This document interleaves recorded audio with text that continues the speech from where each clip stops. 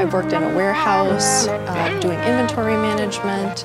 I worked on the transportation side, so planning routes for truckloads. My current job is materials planner at another company. I might be called a purchasing agent or a buyer. There's really a variety of jobs in the field, whether it's entry level or all the way up to the vice president of supply chain operations for Fortune 500 companies. Supply chain management at Scott Forge can look a little different. Uh, our incoming materials that we use is solely metal coming in from a group of vendors or suppliers that we have built great partnerships with.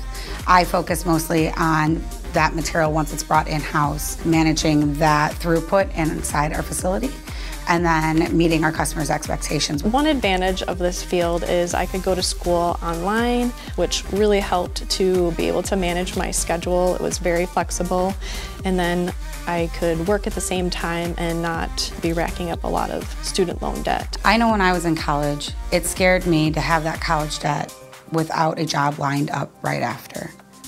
In supply chain management, there are job opportunities out there and they're growing. Supply chain is an ever evolving field. The technology is evolving. Right now there's you know, AI, there's a lot of applications for that in this field. Knowing more about supply chain from an educational standpoint is definitely beneficial when you're going into any supply chain role. Scott Forge here has offered a magnitude of different resources for education and they really encourage you know, that going back to school to learn more. I've also expanded my skill set by taking different classes in this field such as negotiations, procurement, logistics, and continue to improve your value to both yourself and to a company.